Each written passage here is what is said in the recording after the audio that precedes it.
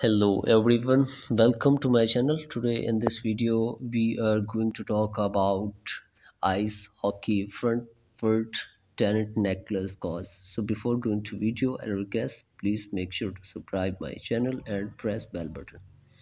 The fatal accident in second division ice hockey club Löwen Frankfurt Niclas from the 20 has died as the result of a tragic accident.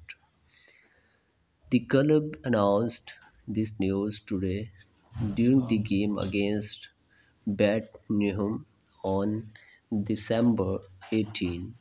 So this was the update. If you want to get more updates, please make sure to subscribe my channel and press bell button.